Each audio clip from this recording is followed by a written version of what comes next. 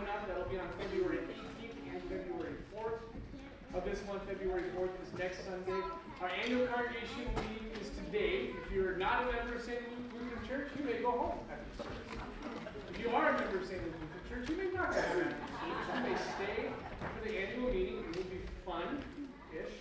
We put the fun in dysfunction, right? So John has an announcement. Oh, the, the baptismal candle is lit. Okay, who's my acolytes?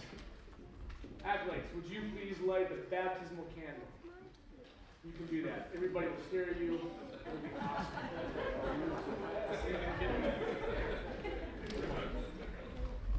Lighting. You. Right. You can blame John it. Um, so the annual congregation meeting is today. Oh, we've cleaned up the kitchen for our move, our move from this building to the next building. A lot of the kitchen things that haven't been touched in years and years and years are on the white table in the back. If you would like to take some of those home, take some of those home. They're free to take. We need boxes for our move, so if you have boxes that you want to get rid of or totes, please bring them at the same. I know that one's super hard. Do you want to help Mary? I call you Mary now. She's Mary now. There you go. Two or three inches of height. This is like the best part of the service, other than.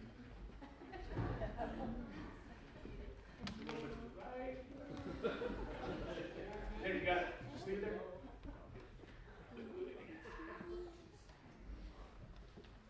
You got it. Living a life of faith is sometimes hard, so why should life of the baptism be easy? Um, and the only other announcement is on, on February 25th, we are vacating this church moving to the next year. So our final worship service at St. Luke Lutheran will be February 25th here. After that Sunday, after that worship service, bring your trucks, your SUVs, your trailers, your strong arms. We will take everything out of here, put the things in those trucks, take them to the new church, and put everything in the new church. We'll probably have to make a few trips. If you can block out a lot of time, help us do it that day. That would be awesome. The more people we have, the less time we'll have to block out. There will be sandwiches and whatnot available at the new church too. If you help, you don't have to sit in the front row at the very first service. If you don't, you're sitting in the front row. Let's just do it like that, okay? Our first service at St. Luke will be the following Sunday, March 3rd. And at that service, we'll have old, not old, previous pastors of St. Luke Lutheran and Bishop Hasnally will be there as well to give us a special message. So please plan on all those things. Let us get our hearts and minds ready to worship our Lord today. Lord be with you.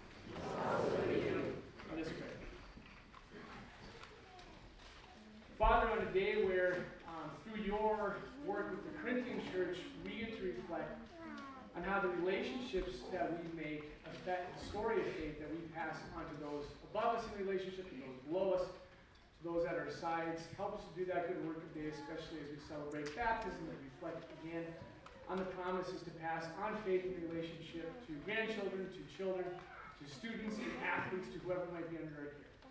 In Jesus' name we pray together. Amen. I invite everybody to please stand. Today, friends, the grace of our Lord Jesus Christ, the love of God, and the communion of the Holy Spirit be with you all. And also with you. Blessed and Holy Trinity, one God who forgives all of our sins, whose mercy endures forever. Almighty God, to whom all hearts are open, all desires known, and from whom no secrets are hid, cleanse the thoughts of our hearts by the inspiration of your Holy Spirit, that we may perfectly love you, worthily magnify your holy name, through Jesus Christ our Lord. Amen. Please take a moment for silence and for self-examination.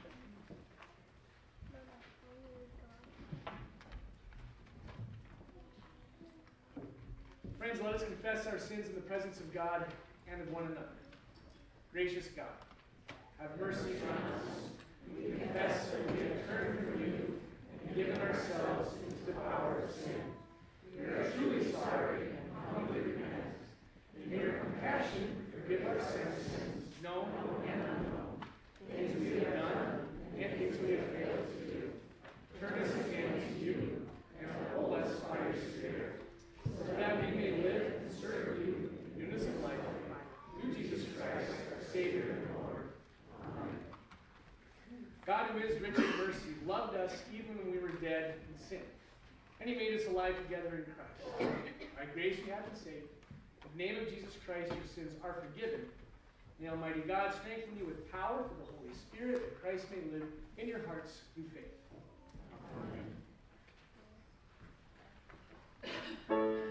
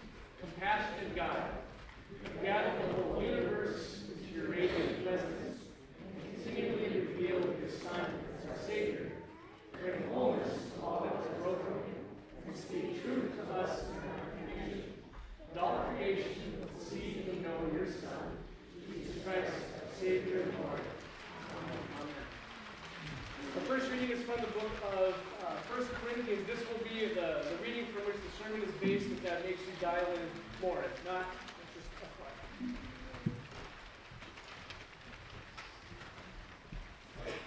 The first reading is from 1 Corinthians. Now about food sacrifice, and idols. We know that we all possess knowledge. But knowledge puffs up, and love builds up. Those who think they know something do not yet know as they ought to know. But whoever loves God is known by God. So then, about eating food sacrificed to idols, we know that an idol is nothing at all in the world, and that there is no God but one. For even if there is so-called gods, whether on in heaven or on earth, as indeed there are many gods and many lords, yet for us there is but one God, the Father from whom all things came, and for whom we all live. And there is but one Lord Jesus Christ, through whom all things came, and through whom we live. But not everyone possesses this knowledge. Some people are still so accustomed to idols that they eat sacrificial food. They think of it as having been sacrificed to a god. And since their conscience is weak, it is defiled. But food that does not bring us near to God, no nearer to God, we are no worse if we do not eat, and no better if we do.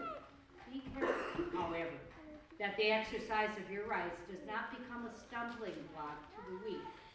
For if someone with a weak conscience sees you with all your knowledge eating in an idol's temple, won't that person be emboldened to eat what is sacrificed to idols?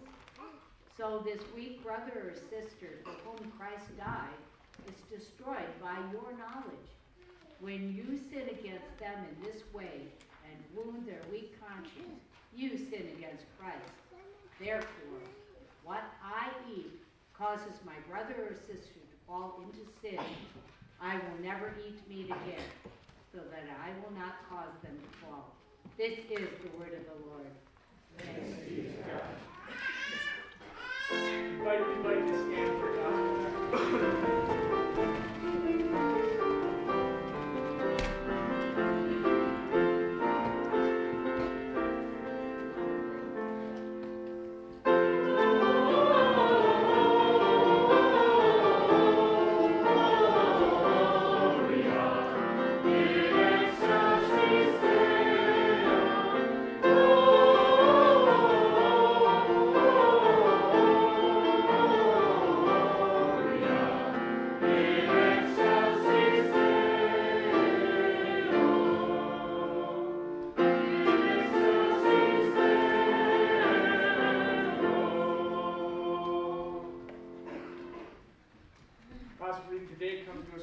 chapter of Mark. They, the apostles, went to Capernaum, and when the Sabbath came, Jesus went into the synagogue and began to teach. The people were amazed at his teaching, because he taught them as one who had authority, not as teachers of the law.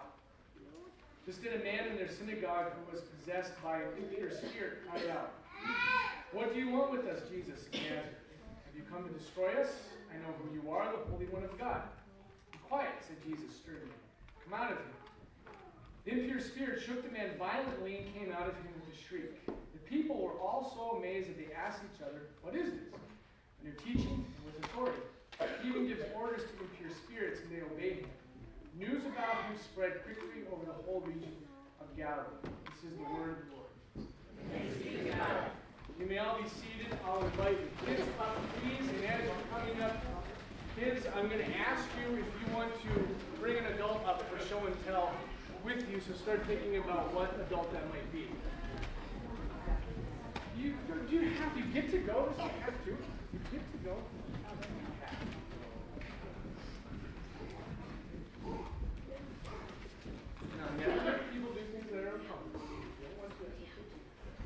Okay. Okay, think in your heads. I'm going to ask one or two or maybe three of you to welcome an adult of your choosing the front, front to stand with you for a moment. Okay, so I'll give you a couple heartbeats in your heads and think of who that might be. In your head. Do I want mom? Do I want dad? Do I want grandma or grandpa? Do I want a crazy neighbor? Do I want a coach? Who do I want? Okay? Now, raise your hand if you would like to invite somebody up. All right.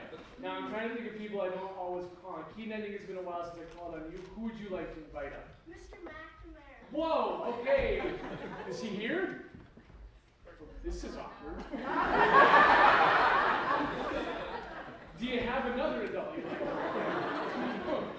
Who would you like to invite up? Your mom? Okay. Mom, where's mom? She's here. Yep. Don't worry, you guys get to stand and face this way, not the actual.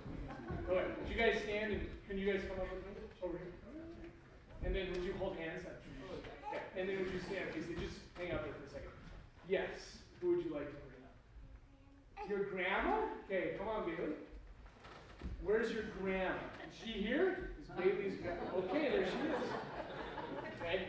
You can't say no because a little kid asked. okay, would you hold grandma's hand? And you just face this? Anybody else?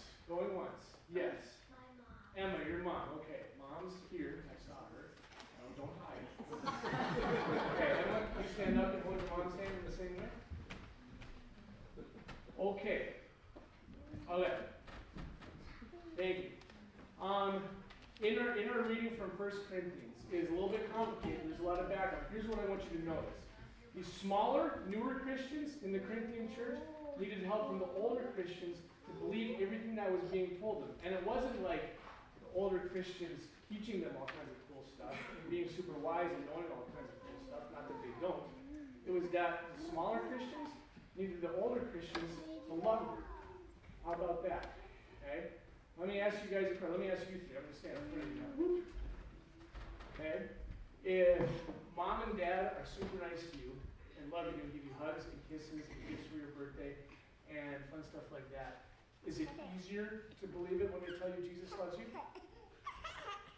Is it easy if they if they love you, if they tell you Jesus loves you, can you believe that Jesus loves you? I bet. Okay? What if mom and dad, this would never happen, but what if they're like super mean, and when you give them the hug, they're like, oh, I don't, I don't even know who you are right now. And like, you go down for breakfast, and instead of cereal on the table, there's like sticks and rocks. I know, crazy, but imagine for a minute. Then if mom told you Jesus loves you, would it be as easy to believe? Maybe not. Okay? What we learned today is that the story of Jesus is really connected to the relationships that we have in Jesus. Okay? You guys go back. Thank you, moms. And grandma. And I want you guys today, as you hear the story, to think about who relates to you, who loves you like Jesus, so that when you hear the story of Jesus, oh, it makes it a little more easier to believe. Then I want you to think, raise your hand if you are an older sibling in your family. Who is the oldest firstborn sibling? Okay? Raise your hand if you have younger brothers or sisters. Raise your hand if you have younger brothers or sisters. Awesome. That means you too have a relationship with somebody smaller. That when you tell them Jesus loves them, and you love them yourselves, it's a lot easier for them to believe that Jesus. Raise your hand if you're the youngest in your family. The very, very youngest. Did you know that you have power over those older siblings too?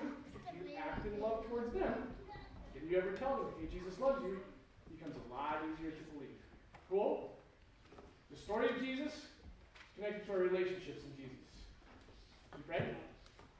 Let us.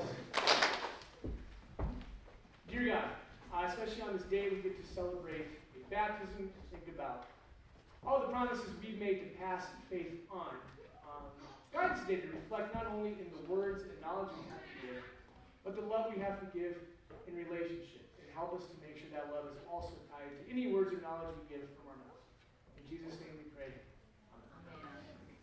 Cool. Thank you guys. You can go back to your seats. Thank you adults who were brave. Up.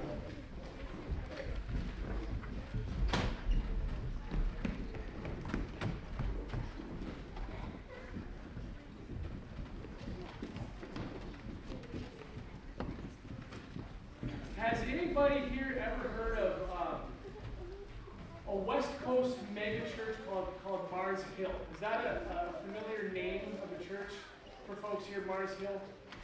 I'm guessing it might not be. I, I did mention it in a story about two years ago in church, so we're listening then. It, it wasn't it wasn't so much a story about Mars Hill, it was a story of the pastor of this megachurch, Mars Hill, a guy named Mark Driscoll on it, but this is a little bit different of a story. If you haven't heard of the megachurch Mars Hill, you probably won't. That church folded, went out of business in 2014. Before 2014, it was one of the fastest, quickest, largest growing churches in the U.S. It was, it was in the Seattle area. It started in 1996 with just 30 people and one pastor in Seattle, his little apartment building.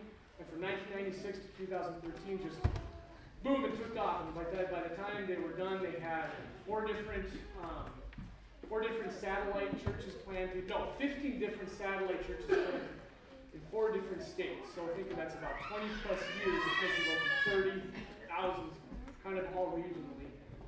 The reason everything ended poorly for Mars Church, why it folded in 2014, is their lead pastor was a guy named Mark Driscoll. You can Google him later and find, find that stuff out. He ran into some trouble. He was very charismatic. He was a very good, strong leader, charismatic teacher, preacher, all those things. But um, he was ethically dubious. And so he was, he was found plagiarizing sermons. He was found taking some money off the top for himself, church funds, things like that. He was accused of church bullying. It all came to a head public in 2014, and, and the story is more about what happened to Mars Hill after that. Mars Hill, the church itself, sort of vanished overnight. All the campuses all of a sudden went empty, the churches had to close, and it folded because so much was connected to this one kind of charismatic leader. As a pastor in Sammamish in the Seattle area, I got a front row seat to this. A, because about three blocks away was one of their satellite campuses, this big, huge, yellow Mars Hill building that I drove by on my gigantic church. I got to drive by on the way to my little tiny Lutheran church. That was so full of parking lots, so full of cars in the parking lot every weekend. And all of a sudden, weekend you drive by after everything folded, the parking lot was absolutely empty. And that building that housed, if I remember right, about 5,000 people, eventually driving by it on the weekends. And it's absolutely empty. Eventually, the University of Washington purchased the Mars Hill campus and became a satellite university of the University of Washington. But it always kind of looked like a church.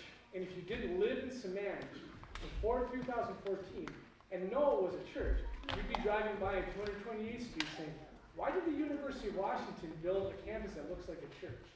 It happened that quickly. It just went vacant, kind of overnight.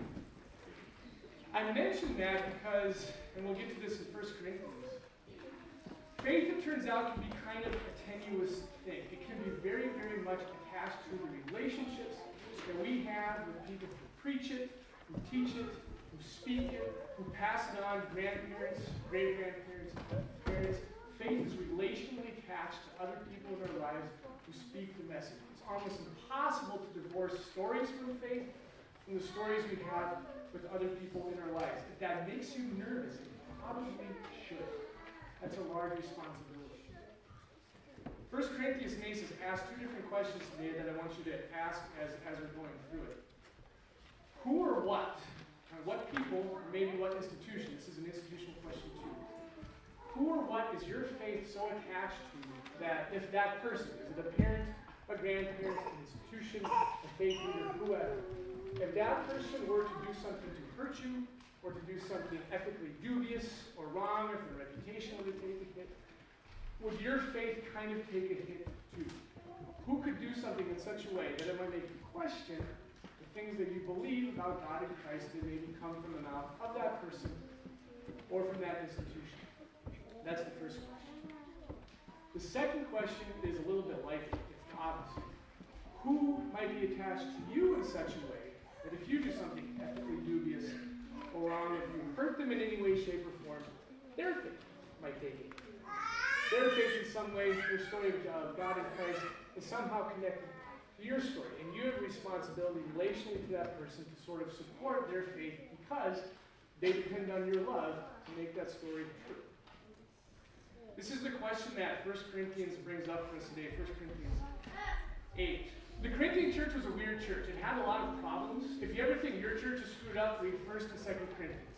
You'll feel fine about your church. After that, there's a, a saying among clergy that if a church has a problem, the Corinthian church invented it first. So we'll find out that this is one of the problems they invented first. Paul writes this letter to the Corinthian church asking this specific question How is your faith a strong Christian connected to the faith of the weak Christian?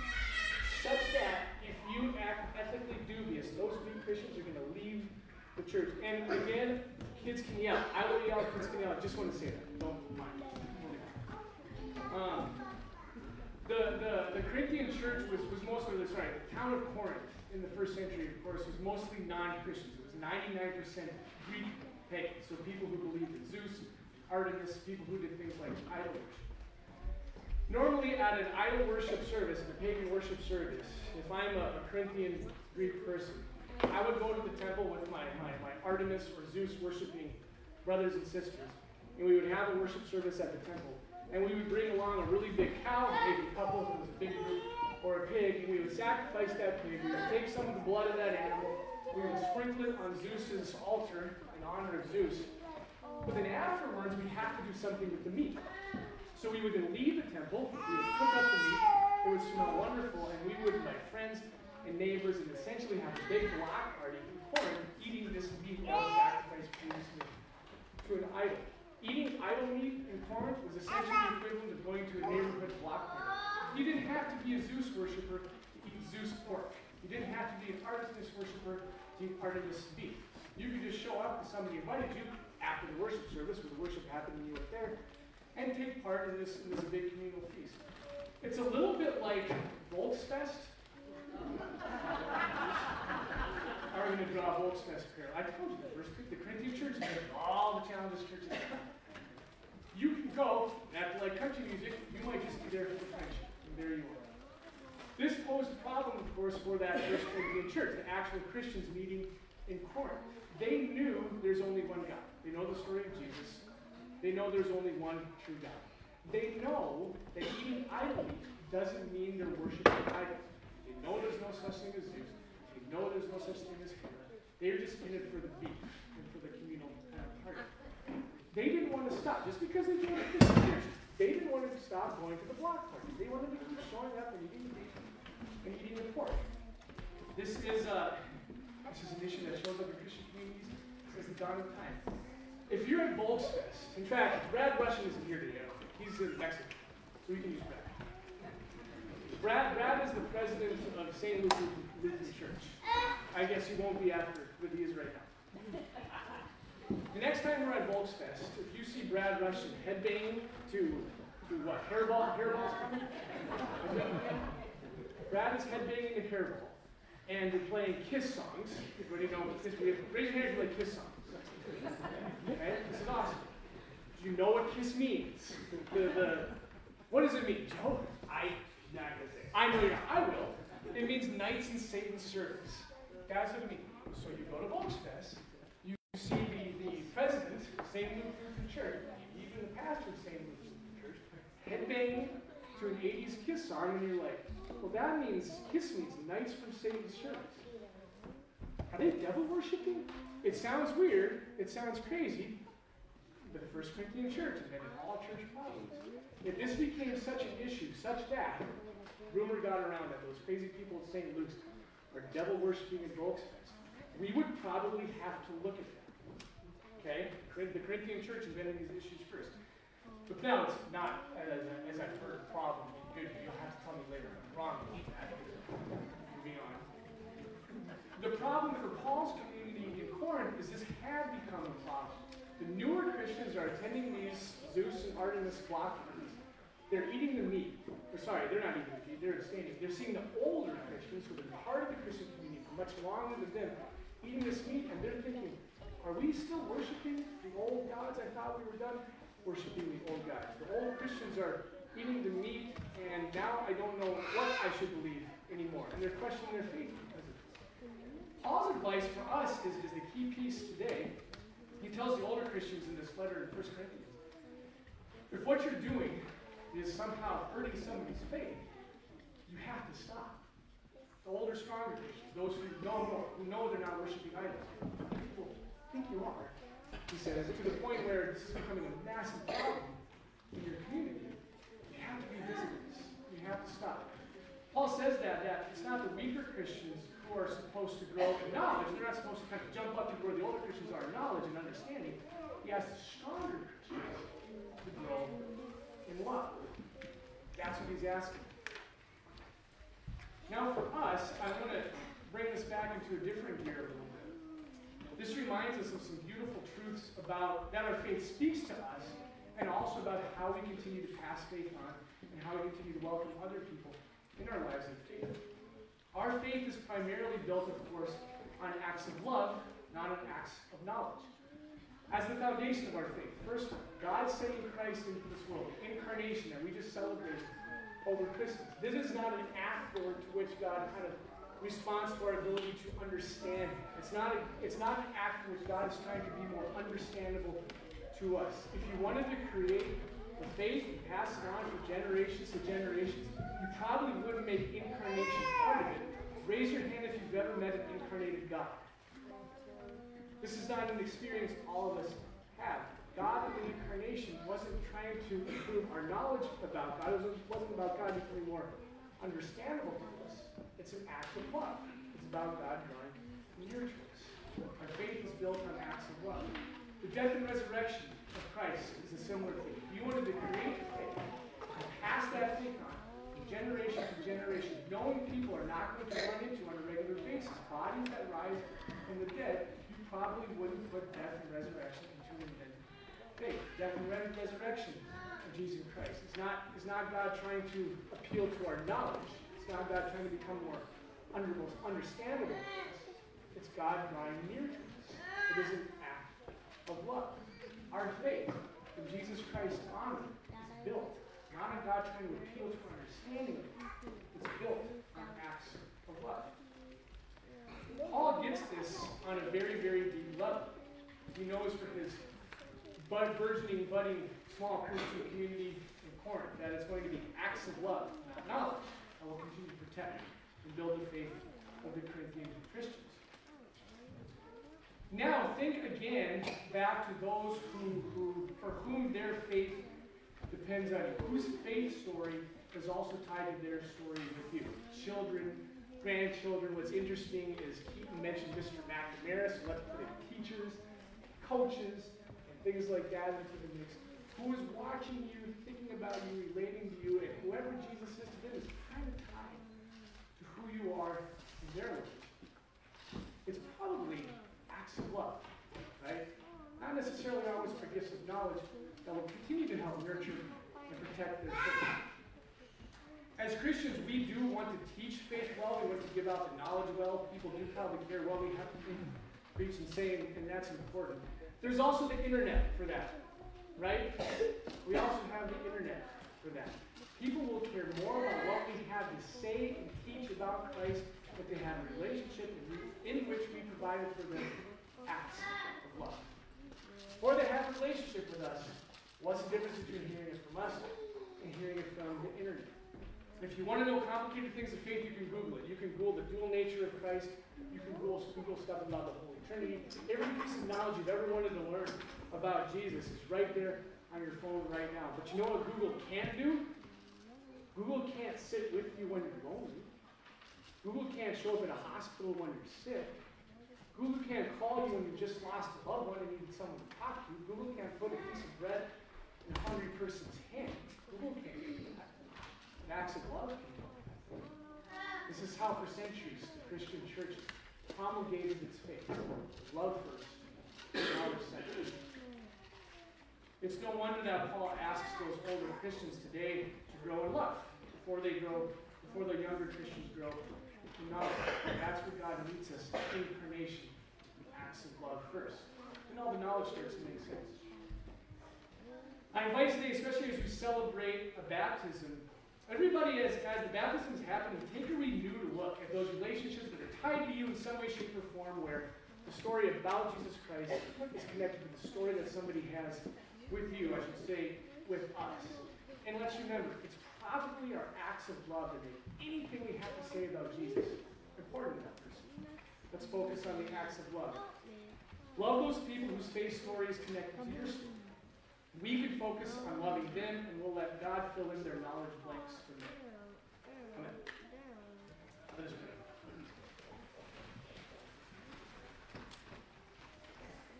Lord, we're reminded today that, very similar to that Corinthian church, uh, we live in a small community where we have multiple layers of relationship. Being church members together, being neighbors together, going to the same school, playing on the same sports teams, all those things. In these, in these multi-layered relationships, just remind us and give us the power and strength to love each other. That when the words about Christ, knowledge about Christ is spoken, we might have that foundation of love upon which to stand. In Jesus' name we pray. All right, friends, our hymn of the day is next. Oh, they will know we're Christians by our love. It's like we planned. Um, I'll invite the ushers to come up and get the offering.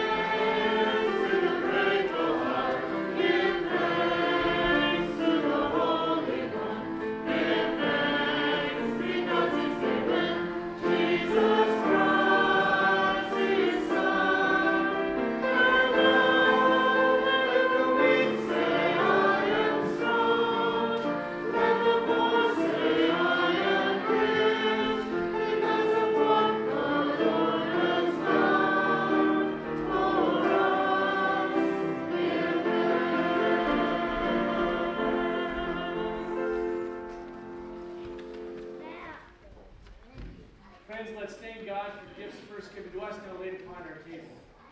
Let us pray. Blessed are you, the Holy One, for all good things come from you.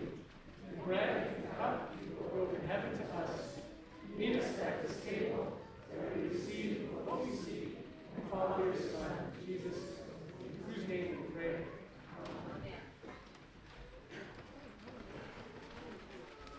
Okay, Mila can come on up. You guys should come over here. Um, sponsors too. Where are my sponsors? Okay, let's. And Jessica, you guys will hang out here. Yep, siblings too. And sponsors, I'll have you guys over here on their left, and then let me give you guys books. Follow along with it. I try to make it so you don't totally lose the book. just in case. We're on page you're 37. The page numbers are on the lower. they're not the big. Uh, congregation dues 237. Excuse me, 227. Thank you.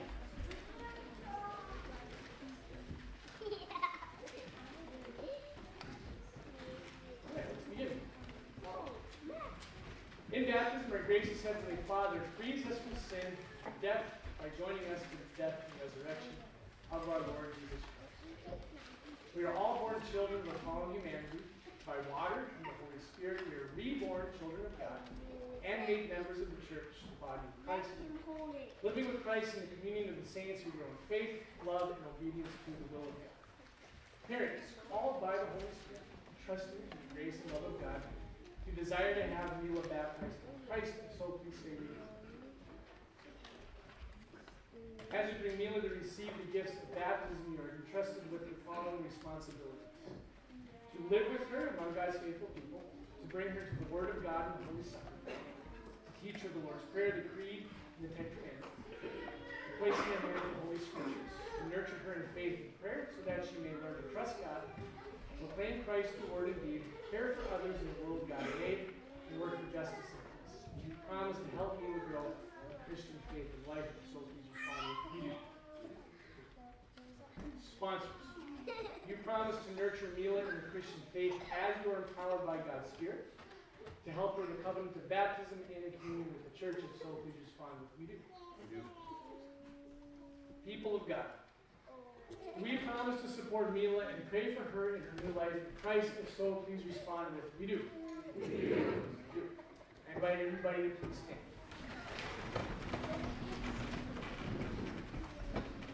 Together as one body, I ask you to profess your faith in Jesus Christ, to reject sin and confess the faith of the church. You renounce the devil and all the forces that defy God. You renounce. We do that one more. Do renounce the devil and all the forces that defy God? You renounce. You renounce the powers of this world that rebel against God. You renounce them. You renounce the ways of sin that draw you from God. You believe in God the Father. I believe in God the Father Almighty, creator of heaven and earth. Do you believe in Jesus Christ, the Son of God? I believe in Jesus Christ, God's only Son, our Lord, who was conceived by the Holy Spirit, born of the Virgin Mary, suffered under Pontius Pilate, was crucified, died, and was buried. He descended to the dead. On the third day he rose again. He ascended to heaven. He is seated at the right hand of the Father, and he will come to judge the living and the dead. Do you believe in God the Holy Spirit? I believe in the Holy Spirit, the Holy Catholic Church, the communion of saints, the forgiveness of sins, the resurrection of the body, and the life everlasting. The congregation may be seated. Lord be with you. We give you thanks, O God, for in the beginning your Spirit moved over the waters, and by your word you created the world, calling forth life in which you took life. Through the waters of the flood you delivered Noah and his family. Through the sea you led your people Israel from slavery into freedom. At the river Jordan your son was baptized by John and anointed with the Holy Spirit. By the baptism of Jesus' death and resurrection you set us free from the power of sin and death and raised us up to live in you. Today pour out your Holy Spirit. Power of your living word that those who are washed in these waters of baptism may be given new life. To you be given honor and praise through Jesus Christ our Lord, in the unity of the Holy Spirit, now and forever. Amen. May I have Mila?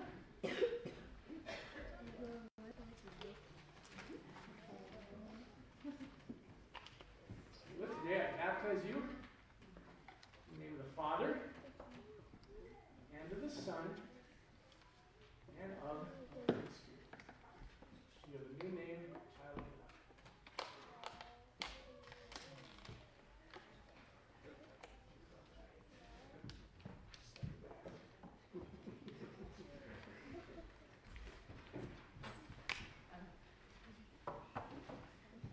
Let us pray.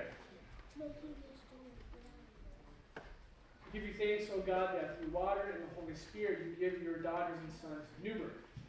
Cleanse us from sin and raise us to eternal life. Today sustain Mila with the gift of your Holy Spirit, the spirit of wisdom and understanding, the spirit of counsel and might, the spirit of knowledge and the fear of the Lord, the spirit of joy in your presence both now and forever.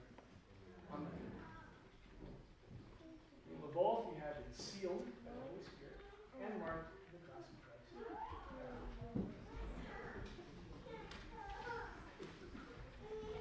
Okay, who wants the biggest responsibility for the sponsorship?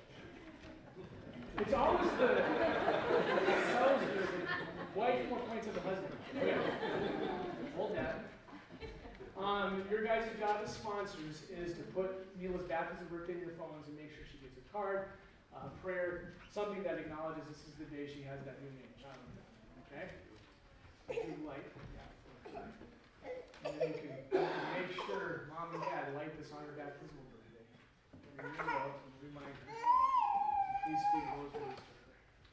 Mila, let your light so shine before others that they may see your good works and glorify your Father in heaven. Thank you. Church, let's welcome Mila into our body of Christ together.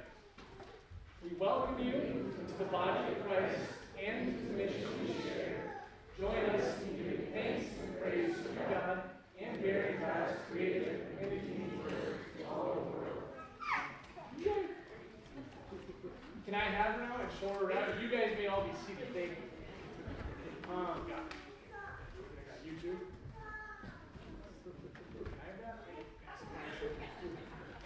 Um, not the parents, maybe the grandparents can make sure that, that, um, the beginning Bible for Mila goes home, as well as this blanket made by your quilters with the prayers of our church it, the baptismal certificates, a little gift box Bible stories and a card and things like that from our Christian care team, and then something to hold that baptismal candle in to pull it out of your ears. That's your guys' job because they have one. This is Mila. No. What's Mila's new name? Oh, man, you guys are. yep. You see around town, this is a good baptism, a good day to remember the relational connections that the story of Jesus is always, for better or for worse, tied to relational stories as well. And if you are Mila's church, the story of Jesus is now tied to who you are to her. No pressure. Hi, people in the annex that are also going to see the baby class.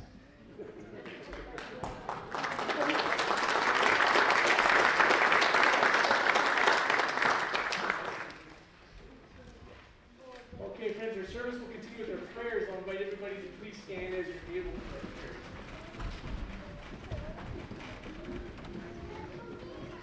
Pray with me.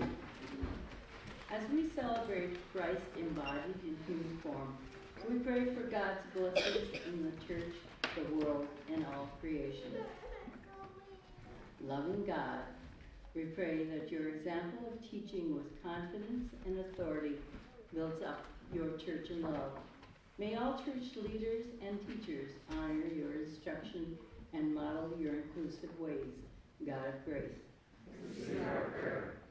Renewing God, we pray for all of creation that waterways flow clean and clear, natural spaces are protected, and our planet is healed. Let us commit to thoughtful care of the earth, God of grace. Justice seeking God. We pray for those in government and community leadership that they lead with honor and mindfulness. May they remember their covenants and be upright in their ways. God of grace. Compassionate God, we pray for all in need, especially for those who have known rejection, any who struggle with long-term illness or chronic pain, those without access to safe housing or health care, and any who suffer, especially for Keith, Dolly, Judy, Jan, Dave, Jerry, Sean, Mark, Linda Quaddy, and the families of John Derricks, Leo Ryan, Barb Maher, and Mila Vogt. God of grace. Still speaking God, we pray for our congregation, for its artists and musicians, for its educators and caregivers, that all gifts are used to care for those in need and to live out your example of accompaniment and gospel witness and love, God of grace.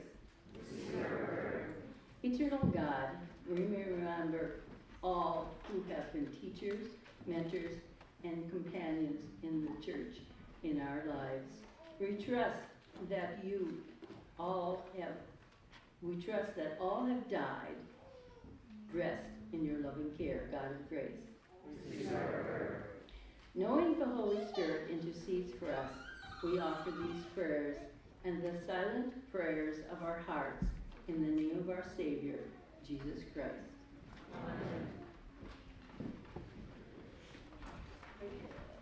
May the peace of Christ be with you always.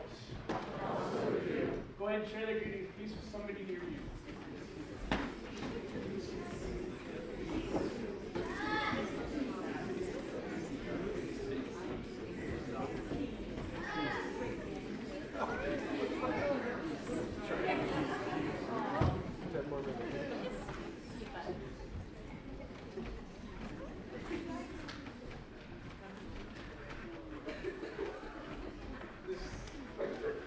Thank you, Paul.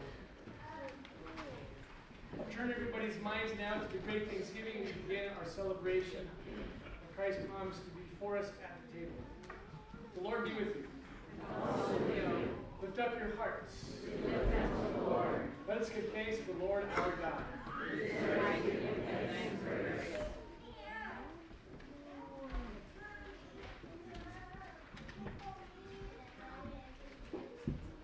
Friends, we remember again together today that on the night which Jesus was betrayed, he took bread, he broke it, gave thanks, gave it to his disciples, saying, Take and eat, this is my body which is given for you. Do this for the remembrance of me.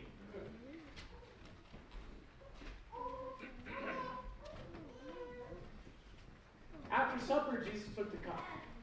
Having given thanks, he gave it to all to drink, saying, This is the new promise in my blood, to shed for you and for all people, for the forgiveness of sins. Do this for the remembrance of me. Pray together as Christ taught us to pray. Our Father, who art in heaven, hallowed be thy name. Thy kingdom come, thy will be done, on earth as it is in heaven. Give us this day our daily bread, and forgive us our trespasses, as we forgive those who trespass against us. And lead us not into temptation, deliver us from evil. For thine is the kingdom, the power, and the glory, forever and ever. Amen. Friends, the table is set for everybody. All may come forward and receive the sacrament. If you would like to see, receive a blessing, in place of the sacrament, let me or one of the servers know by placing your hands like this as a sign of the cross and invitation of blessing. I'll invite our, everybody may be seated. I'll invite our council members to please help serve. We are communing around the rail today.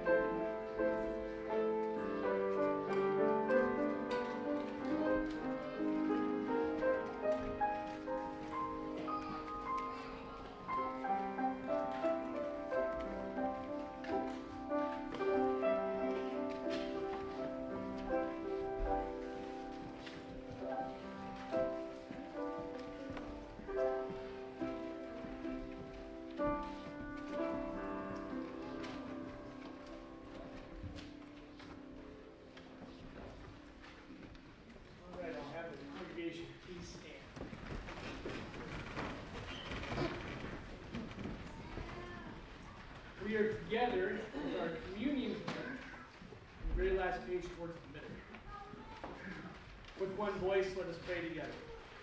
We give you thanks, Almighty God, that you have refreshed us through your healing power of this gift of life.